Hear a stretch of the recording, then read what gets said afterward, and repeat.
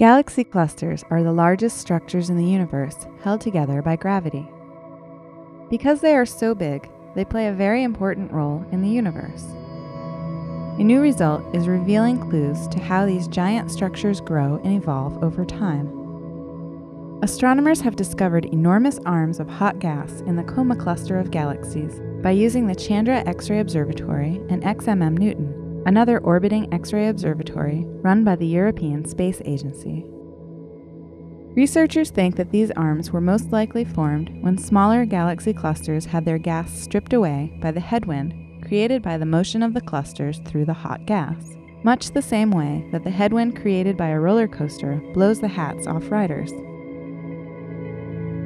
By studying these remarkable arms that span over a half a million light years across, astronomers are taking another step toward understanding the past, present, and perhaps future of these colossal objects.